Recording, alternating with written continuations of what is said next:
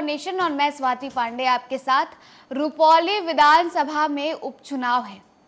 और इस उपचुनाव को लेकर के इंडिया गठबंधन में घमासान जारी है, क्योंकि एक तरफ़ लालू प्रसाद यादव ने अपनी पार्टी यानी राजद की तरफ़ से उम्मीदवार को उतारने से मना कर दिया है। तो वहीं दूसरी तरफ़ पप्पू यादव का कहना है कि वहाँ से कांग्रेस का उम्मीदवार जो है वो उतरे। तो वहीं दूसरी तरफ़ वाम दलों की तरफ़ से भी कहा जा रहा है कि हम अपनी तरफ़ से उम्मीदवार उतारेंगे। अगर एनडीए की बात करें तो एनडीए की तरफ़ से जदयू यानी नीतीश कुमार ने अपने उम्मीदवारों, उम्मीदवार को वहाँ से उतार दिया है। कालाधार मंडल वहाँ से चुनाव लड़ेंगे और कालाधार मंडल कहा जा रहा है कि वो लेसी सिंह के करीबी हैं, लेसी सिंह के खास हैं। अब ऐसे में रुपौली विधानसभा उपचुनाव को लेकर कि क्या महागठबंधन में टूट पड़ सकता है, क्योंकि यहाँ पर कांग्रेस और वाम दल आमने सामने भले लालू प्रसाद यादव पीछे हट गए हों, लेकिन कांग्रेस और वाम दल आमने सामने है। कांग्रेस की तरफ़ से पप्पू यादव अड़े हुए तो वहीं दूसरी तरफ़ वाम दल वाले जो नेता है तमाम, वो अपनी तरफ़ से अली विधानसभा उपचुनाव में एक बार फिर एनडीए बनाम महागठबंधन का शक्ति परीक्षण होने जा रहा है। दलीय प्रतिद्वंदिता के बीच, निर्दलियों की चुनौती के बीच, इस बार रुपौली विधानसभा का उपचुनाव काफ़ी रोचक होने जा रहा है। हालाँकि एनडीए की तरफ़ से जदयू ने अपने उम्मीदवार का नाम आगे करके पहली चाल चल दी है।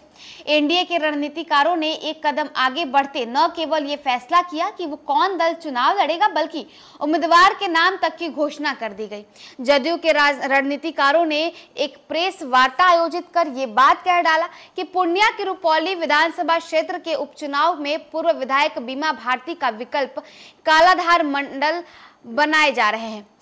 ज्ञात हो कि जदयू विधायक बीमा भारती ने पार्टी से इस्तीफा देकर राजद की टिकट पर पूर्णिया लोकसभा चुनाव लड़ा और हार गई। इस वजह से अगले महीनों की महीने की 10 तारीख को रुपौली विधानसभा का उपचुनाव होने जा रहा है। महागठबंधन सूत्रों की माने तो रुपौली विधानसभा उपचुनाव से राजद चुनाव नहीं लड़ने जा रहा है। महागठबंधन नेतृत्व तो यहाँ से सीपीआई के उम्मीदवार को उतारने जा रहा है। पर अभी तक कोई नाम घोषित नहीं हुआ है। रुपौली विधानसभा से अभी अभी निर्दलीय उम्मीदवारों की भूमिका अहम होने जा रही है और ये उम्मीदवारी एनडीए और महागठबंधन से नाराज़ नेता के विरोध में होने के कारण होने जा रही है। एनडीए की तरफ़ से नाराज़गी का बीड़ा लोजपा के पूर्व विधायक शंकर सिंह ने उठाया है। नेता शंकर सिंह को जब ये पता चला कि रुपौली सीट जदयू के हिस्से में चली गई तो उन्होंने लोजपा से इस्तीफा दे दिया और निर्दलीय चुनाव में उतरने का ऐलान कर दिया।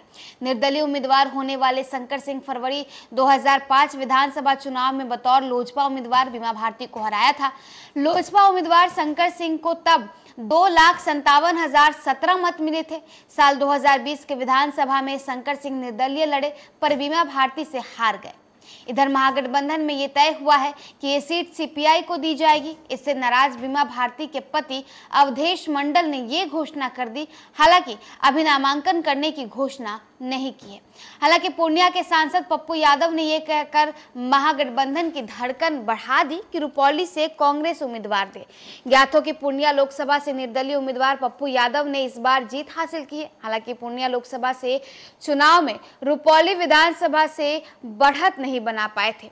पप्पू यादव लगातार कांग्रेस पार्टी को ये कह रहे थे कि कांग्रेस पार्टी वहाँ से अपना उम्मीदवार खड़ा करे, ये संभव नहीं दिख रहा है। हालाँकि लालू यादव के खिलाफ कांग्रेस जाने की हिम्मत कर सकती है या नहीं, ये तो भविष्य ही तय करेगा। देखिए, निर्दलीय उम्मीदवारों से अभी सबको डर है, क्योंकि सबसे बेस्ट और सबसे बड़ा एग्ज़ाम्पल अगर देखें तो वो है पूर्णिया, जहाँ पूर्णिया में बीमा भारती को जिताने के लिए तेजस्वी यादव ने अपने सारे दमखम लगा दिए तो वहीं दूसरी तरफ़ एनडीए प्रत्याशी को जिताने के लिए खुद प्रधानमंत्री नरेंद्र मोदी भी पूर्णिया में जो है जनसभा को संबोधित करने चले आए। लेकिन बावजूद बावजूद इसके, न ही एनडीए की तरफ़ से संतोष कुशवाहा जीते और न ही इंडिया गठबंधन की तरफ़ से राजद प्रत्याशी बीमा भारती जीती। अगर जीता कोई तो वो निर्दलीय प्रत्याशी पप्पू यादव।